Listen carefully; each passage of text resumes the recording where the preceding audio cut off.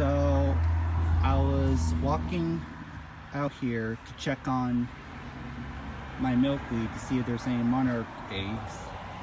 And as I was looking, I found this little guy hiding in the flowers.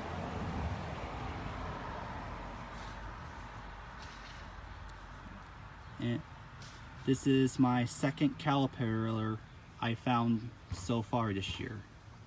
So now I have a chrysalis and a caterpillar. And I'm going to take it inside and raise it in captivity. And I'm going to keep searching for more monarch eggs or caterpillars and save as much monarch butterflies as I can.